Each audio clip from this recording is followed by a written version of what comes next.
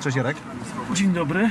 Cześć, dzień dobry. Jarosław Makowski. Młodych ludzi z chudego ciacha. Robią takie kawiarnie i y, mają się nieźle. Od jakiegoś Idziemy czasu zawsze rano pokazujemy ludzi, którym naprawdę się w biznesie udało. Czasem to są młode, zupełnie inne niż świat znał agencje reklamowe. Czasem to jest jeszcze jakiś inny biznes. Natomiast okazuje się, że drygują tym bardzo młodzi i fajni ludzie, y, którym się udaje i takich właśnie chcemy Wam y, prezentować. Cześć Tomek, do zobaczenia. Cudni są. Wiesz co, Tak, tak, patrzę na, na Tomka. chcę, mogę zacząć ja? Proszę. Słuchaj, mam dla Ciebie dwa, dwa prezenty. Fajny i bardzo fajny. Od którego mam zacząć? Od tego słabszego. To jest książka A. moja z dedykacją. Rozumiem, bardzo dziękuję. Ta, którą e, Agnieszka Holland pochwaliła, tak? Tak, tak, Dobrze, tak, bardzo tak. dziękuję. Natomiast e, bardzo fajny. Tak. To jest, e, wiesz o tym, że ze Śląska przyjechałem, więc to E, jest koszulka. słyszę. I tu jest e, szychta. A, a Jarek codziennie rano odwala tak. porządną szychtę, więc Bardzo dziękuję. e, to jest koszulka LK. No wiesz, XS, ale okej, dobra, nie ma sprawy, no trudno. Jak to wymienimy, słuchaj. Bardzo Ci dziękuję. Nie ma sprawy. Słuchając Tomka przed chwilą, patrząc teraz na tą uśmiechniętą zawsze jego Magdę, która mu pomaga, a nie ma z Tomkiem łatwego życia i słuchając wczoraj profesora Izdebskiego, myślę sobie, co się nie udaje władzy, która ma dostęp do każdych pieniędzy właściwie, że nie jest w stanie zakończyć protestu na korytarzu sejmowym.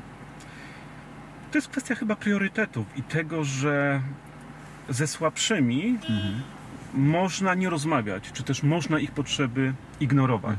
Kiedy przychodzą silni pod Sejm, e, Palą wychodzą opony? Na, palą opony, to wtedy władza natychmiast e, siada do stołu. Natomiast kiedy przychodzą słabsi, kiedy przychodzą słabi, ci, którzy nie mają silnych pleców, nie mają silnych e, lobbystów, nie mają za sobą e, no, ogromnego mm, poparcia i pieniędzy, wtedy władza może pozwolić sobie na to, żeby ich potrzeby ignorować.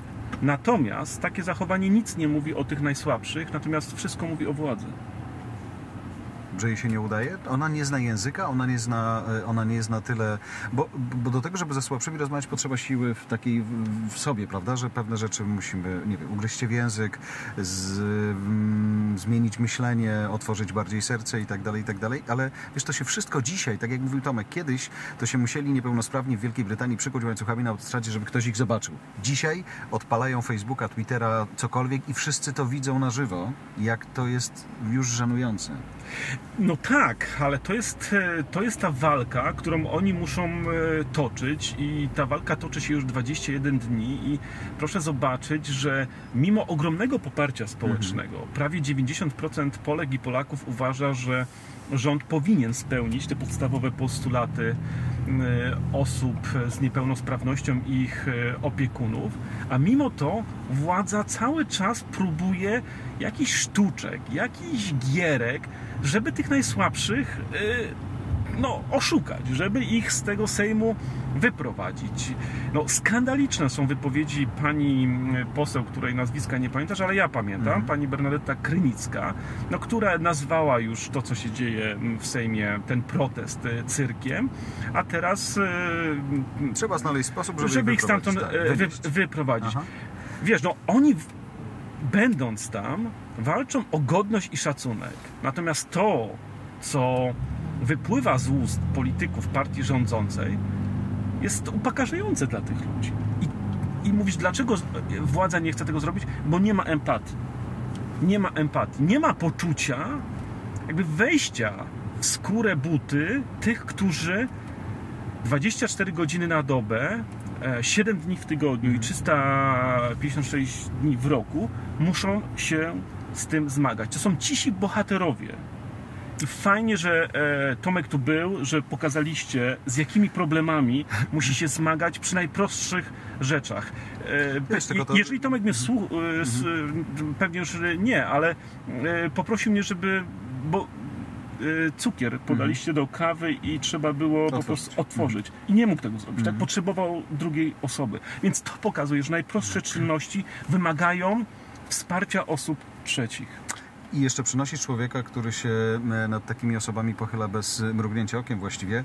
E, Pobudka kościele, pisze Jarosław Makowski w swojej książce. E, Które, do którego kościoła to mówisz? do kościoła ludzi dobrej woli. I wydaje mi się, że Franciszek również e, zwraca się i buduje kościół ludzi dobrej woli. To znaczy tych, którzy rzeczywiście są po stronie wdowy, sieroty i obcokrajowca. Tych trzech symboli, o których mówi Ewangelia, a których zawsze spycha się na margines. Zawsze wyrzuca się poza główny nurt Bo debaty, bo słabsi. Bo słabsi. I to jest mm, moja fascynacja Franciszkiem, ale nie tylko moja, to jest fascynacja takich ludzi także jak Agnieszka Holland czy e, Robert e, Biedroń, e, ludzi chodzących po obrzeżach, po manowcach, czy w ogóle poza granicami Kościoła, pokazuje jak, jak niewiele trzeba, żeby Kościół przyciągał do siebie. To znaczy, że ci, którzy mówią w imieniu Kościoła, po prostu muszą być tylko i wyłącznie wiarygodni.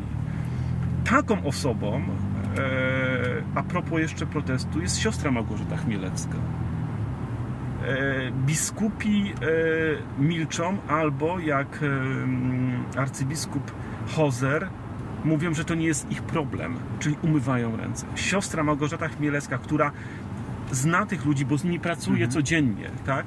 prowadzi wspólnotę, wie, jak heroiczne jest to życie. Tylko nawet to nazwisko, które wypowiedziałeś, arcybiskupa Hozera, y, który niejedną złotą myśl już w świat niestety puścił. y, Niestety. To jest... Znaczy, fajnie, że świat jest tak ułożony, że masz w jednej instytucji, w tym przypadku kościele pisanym wielką literą, Franciszka i Hozera. No tak, e, i ludzie niestety e, mają wybór między prawdą a fałszem. Franciszek jest po stronie prawdy, dobra i piękna. A No. arcybiskup Hozer tą wypowiedzią stanął po stronie e, cynizmu i po stronie braku odpowiedzialności i przyzwoitości. Tylko z drugiej strony te 90 parę procent ludzi, którzy deklarują w Polsce, że są katolikami i powiedzmy jakaś część z tych 90% też w- co niedzielę idzie na mszę, nie słyszy Franciszka, tylko słyszy, y, słyszy Hozerów i, i, i, i, i jemu podobne. No, dlatego też napisałem e, książkę o... Czyli to są twoje kazania. Można tak powiedzieć. Wiesz, ja rzeczywiście nie skupiam się tutaj na mm, wątkach ściśle teologicznych. Ja próbuję pokazać myśl społeczną papieża Franciszka. To znaczy pokazać go, że on bierze udział w tej wielkiej dyskusji, jaka dziś toczy się o kształt świata. Ale jego E, się da wyjąć z kościoła? Naprawdę? Tak, wiesz, że to jest taki papież, który może funkcjonować e, w dzisiejszym świecie totalnie poza tą instytucją i e, wiadomo, że nie, nie, nie, ta instytucja pozwala mu pewne rzeczy rozwiązać, ale bo on jest właśnie taki czasami mało kościelny.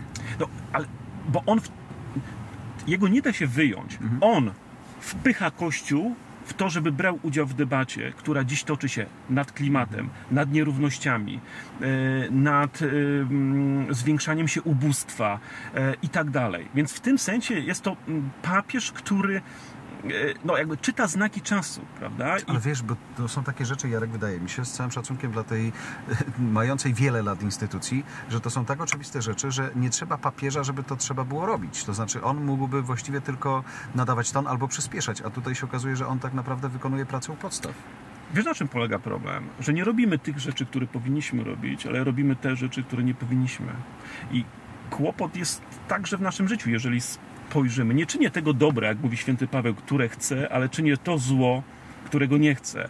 Człowiek jest wyskrobany z bardzo pokrzywionego drzewa i podobnie ta kościelna instytucja. Sam wspomniałeś, że mamy siostrę Małgorzatę Chmielewską w tym samym polskim kościele i arcybiskupa Hozera. Siostrę Małgorzatę, która codziennie e, pokazuje przyjazne, e, dobre, e, przyzwoite, opiekuńcze oblicze Kościoła i arcybiskupa Hozera, Wiesz, dlatego, który masz- okazał się cyniczny. Masz praktyków i masz teoretyków, no.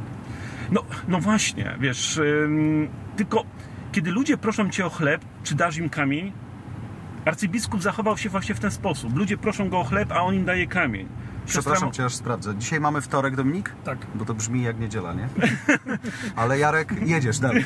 Nie, ale, Nie, ale, wiesz, podoba mi się to tak. No, tak ale to jest dokładnie nazwać. nasze życie, tak? Znaczy,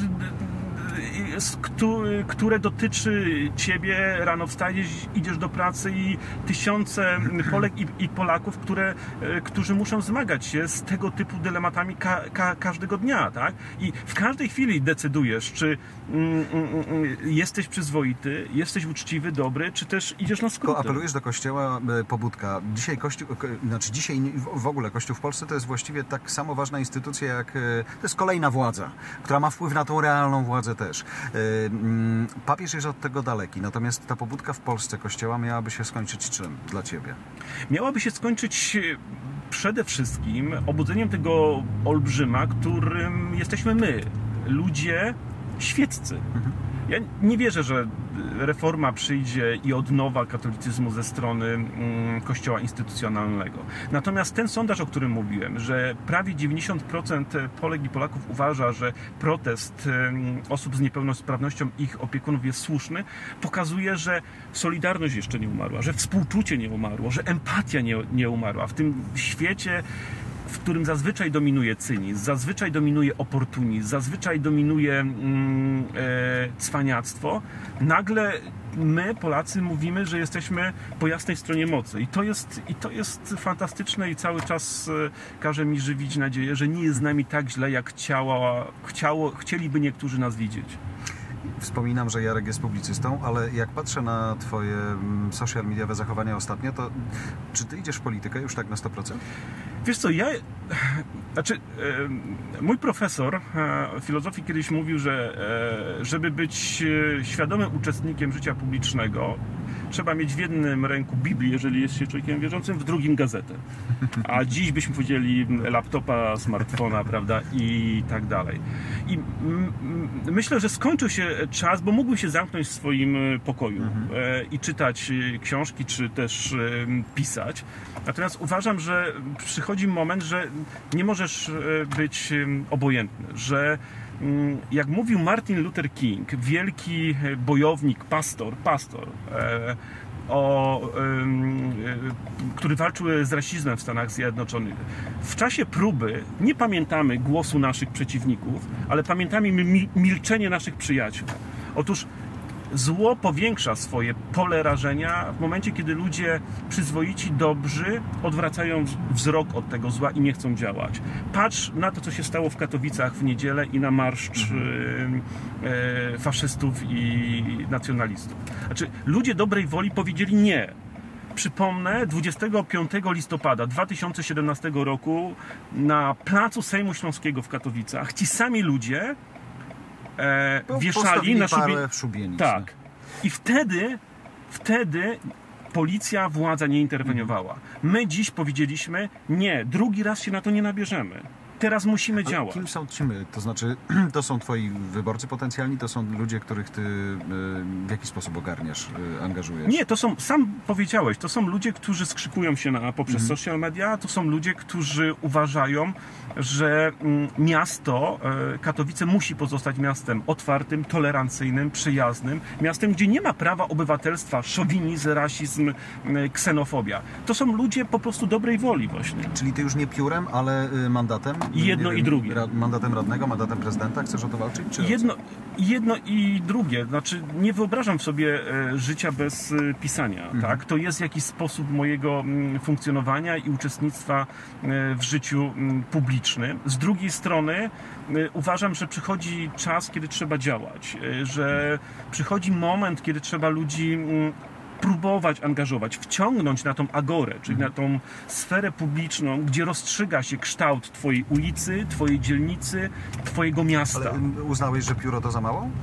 I mandat będzie mocniejszy, czy co? Uznałem, że pióro jest elementem e, zmiany, natomiast mandat jest e, realną możliwością e, zmiany rzeczywistości, prawda? I to, co, mm, o czym mówiliście, smog, który mm, doskwiera e, no, większo, dużej części polskich miast, a śląskich w szczególności. jestem radnym Sejmiku Śląskiego i od początku walczyliśmy o ustawę anty, uchwałę antysmogową e, na Śląsku i ona jest od ponad roku działa, prawda? Kiedy pierwszy raz przyszedłem do Sejmu Śląskiego e, z taką tablicą czyste powietrze i że chcemy o nie walczyć, to trochę patrzyli dziwnie. Natomiast po ponad półtora roku pracy przeforsowaliśmy uchwałę antysmogową dla województwa śląskiego. To było drugie województwo po Małopolskim. Więc e, to, to, to mi dało takie przekonanie, że e, pióro nie wystarczy, że trzeba się też zaangażować e, poprzez bardzo konkretne e, działania i jako radny e, Sejmu Śląskiego takie, taką możliwość miałem i po prostu z niej skorzystałem. Czyli prezydent Jarosław Makowski, prezydent Rafał Trzaskowski. Jezu, żeśmy zna, na, nazbierali dzisiaj? Kurczę, ale masz kumpli. Współczuję ci. Jeśli będziecie w ogóle o nas pamiętali, wiesz jak to jest. A do kiedy był prezydentem? Do czasu wyboru. Później już przestał odbierać telefony. Nie, nie, No to- to, to, jest, y, to jest raczej nie, niemożliwe i wiesz, y, sens bycia y, w polityce mm, ma o tyle, o ile jesteś z ludźmi, działasz e, z nimi i to na różnych szczeblach, od e, sprzątania właśnie swojej ulicy poprzez e, próbę uchwalenia takich rzeczy jak uchwała antysmogowa. I na końcu robienia coś, co stanowi Twoją pasję. W moim przypadku jest to pisanie e, Tylko przypominam ci, o, chociaż ja jestem najgorszą osobą, która jest od tego, że doba ma tylko 24, no czasem 5 godzin. Wiem, wiem i tak, w naszym wieku powinniśmy już zacząć dbać o siebie. E, kończymy. E, bardzo dziękuję. Bardzo Jarek dziękuję. Makowski, wszystkiego, dobrego. dobrego. Dziękuję za prezenty. Aha, mam nadzieję, że kiedyś się Nie, po pokażesz w tej, e, Zdecydowanie w tak. tej koszulce. Jak będę szedł znowu na szyfr. Wszystkiego dobrego. Jarek. Dzięki, dobrego Dziękujemy. dnia. Do zobaczenia. Ukłony.